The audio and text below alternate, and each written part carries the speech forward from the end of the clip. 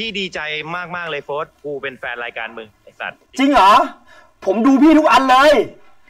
จริงเหี้ยกูกูกูก็รักมึงๆเอ้ยขอบคุณ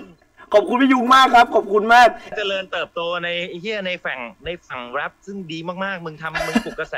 น้องๆรุ่นใหม่เว้ยโอ้ยไม่ใช่ว่ะไม่ขนาดนั้นกระแสของเขามีอยู่แล้ว ผมไม่ได้ปลุกอะไร ผมก็แค่ก็แค่ทำทำตามที่ผมอยากทำ มึงมีทางของตัวเองไอ้เฮียเท่มากไอ้โฟสมึงยังกล้ามโตเหมือนเดิมปะเนี่ยฮะไม่ค่อยได้ไม่ค่อยได้เล่นฟิตเนสแล้วพี่ช่วงนี้ แต่ช่วงนี้เน้นเหมือนกันเหมือนกันนะแล้วตอนนี้ก็ดูพี่กล้ามอยู่นะที่พี่ออกมาวิ่งเหรอหรือทำอะไรอยู่ นี่กูออกมาวิ่งในหมู่บ้านเหี้ยแม่งมีฟิตเนสเล่นไอ้สัตว์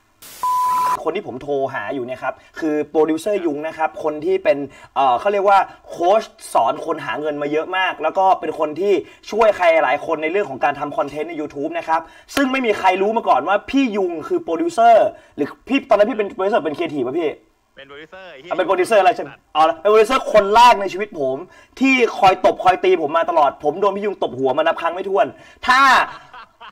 ผมพูดเลย ผมพูดตรงนี้เลยนะ พูดตรงนี้เลยนะ ถ้าเกิดผมไม่มีพี่ยุงนะ ผมก็ทำได้ด้วยตัวเอง อ้าวไอ้เหี้ยถ้าผมไม่มีพี่ยุงอะผมก็ไม่มีวันนี้ พี่ยุงคือคนที่คอยสอนผมมาตลอดเหมือนกัน พี่ยุงนี่เป็นคนที่เคารพรักมาตลอด ตอนแล้วตอนนี้ผมเห็นเอ้ยพี่เชื่อป่ะผมแชร์คลิปพี่ตั้งแต่แบบ พี่เปิดเพจใหม่ ๆ คนแบบไม่ค่อยมีคนไลค์อะไรอย่างนี้เลย ผมแชร์ตั้งแต่ตอนนั้นเลยอะแล้วตอนนี้โอเคไหมชีวิต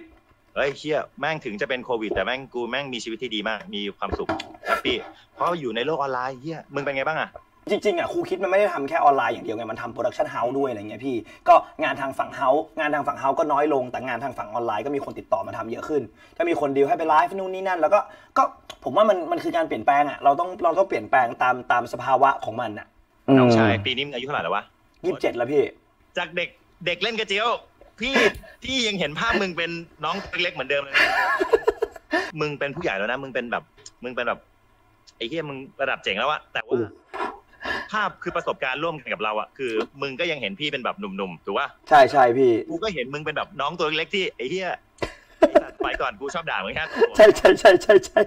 ไม่แต่แต่ ชอบแกล้งมึง แต่เอาจริงแต่เอาจริงมากถ้าเกิดผมไม่มีพวกไม่มีพี่ในวันนั้นน่ะผมก็ไม่มีทางได้วันนี้นะเว้ยเพราะว่าผมก็ไม่รู้ว่าวิธีการเป็นพิธีกรที่ดีหรืออะไรก็ตามเป็นยังไง พี่ยุงเนี่ยคือเป็นทั้งครีเอทีฟแล้วก็เป็นโปรดิวเซอร์ด้วยแต่ตอนที่ช่วงเขาเป็นครีเอทีฟเขาคือครีเอทีฟที่ประกบอยู่กับน้าเน็กกับพี่อ้อมพิยดามาตลอดเพราะเขาทำรายการอีเมาส์ซึ่งเขาอะก็จะเอาสิ่งต่างๆ ที่นันเน็กเคยสอนเขาหรือเอาสิ่งต่างๆที่พิธีกรต่างๆ เคยบอกเขาอะมาสอนผมต่อ แล้วก็เขาก็จะมาเดเวล็อปให้ผมด้วยว่าสิ่งที่เกิดเกิดๆมาคืออะไร คือพูดเลยว่าทุกวันเนี้ยที่ผมหัวไวที่ผมพูดเร็วคิดเร็วเพราะพี่ยุงเคยบอกหมดพี่ยุงอือคนที่บอกผมว่า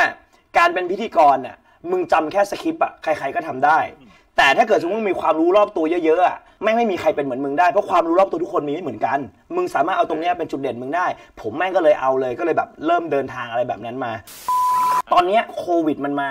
สิ่งที่มันเกิดขึ้นผมเห็นหลายๆคนน่ะมันโทษมันเขาก็เขาก็ค่อนข้างที่จะ depress กับเรื่องโควิด โทษนั่นโทษนี่โทษนู่นไปหมดเลย พี่ยุงลองให้กำลังใจคนเหล่านี้หน่อยฮะ ปี 2020 อะแม่งเป็นปีแม่งไม่ใช่เรื่องบังเอิญเลยไอ้ตัวเลข 20 20 อะแล้วเกิดไอ้โรคเฮี้ยนี้ขึ้นมาก็คือไอ้โรคโควิดอะครับแล้วแม่งเตือนเรามาครั้งแล้วเว้ยโฟสถูกปะ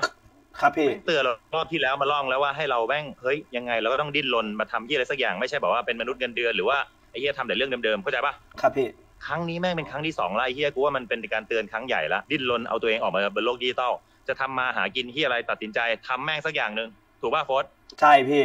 ทำแม่งสักเรื่องหนึ่งไอ้เหี้ยบนโลกโซเชียลไอ้เหี้ยวันแรกๆไม่มีใครดูมึงหรอกโฟสถูกปะถูกพี่เมื่อก่อนมีหมามองที่ไหนโฟสถูกป่ะตอนเริ่มใช่ใช่ใช่พี่เออเริ่มเริ่มแรกๆมันไม่มีใครสนใจเราหรอกใช่ไอ้เหี้ยแรก ๆ หมาไม่มีใครมองหรอก ทั้งมึงทั้งพี่ ทั้งไอ้นิกกี้ทั้งนั้นเน็กไอ้เฮียไม่มีใครมองหรอกไอ้สัตว์ตอนแรกอะนะครับครับพี่จากการเริ่มต้นทั้งนั้น ดังนั้นพี่ภาวนาให้ลูกเพจของของพี่โฟสนะครับเฮ้ยเริ่มต้นนะสู้ๆแล้วเดี๋ยววันหนึ่งน้องจะเป็นเหมือนพี่โฟสนะครับ อย่าลืมกดไลค์กด Subscribe และกดกระดิ่งให้พวกเราด้วยนะครับผมจะได้มีกำลังใจในการทำคลิปต่อๆไปกัน กดหน่อยดิโอ้ใจคอจะดูอย่างเดียวเลยเหรอขอร้องอะนั่นๆๆๆ